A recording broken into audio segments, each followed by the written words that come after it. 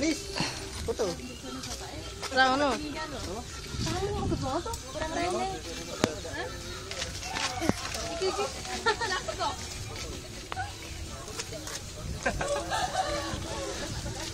diulang merekamnya Merekam itu ulang.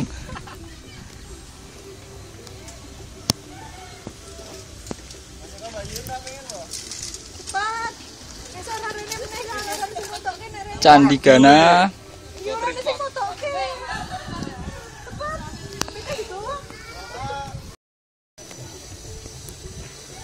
Kita sampai di Candi Gana. Candi ini sekitar eh, beberapa ratus meter dari Candi Prambanan. Sebenarnya saya baru datang ke sini dan ini adalah reruntuhannya.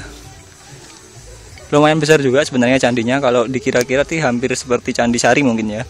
Tapi kayaknya lebih ke- kecil ini sedikit. Itu adalah bekas pondasinya dekat dengan rumah orang benar. Dan itu adalah runtuhan-runtuhan candi ininya. Batu-batu candinya. Ini contohnya.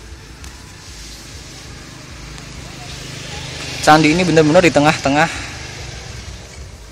perkampungan. Dan ada beberapa orang banyak yang datang itu. Itu ada teman-teman saya. Setelah ini kami berlanjut ke Candi Pelausan eh, untuk melihat candi-candi di sana. Sebenarnya sudah pernah ke sana sih, hanya ini bareng-bareng dengan teman biar rame. Eh, di candi ini, candi Gana ini terlihat eh, tinggal segini saja, tinggal sedikit apa namanya runtuhannya.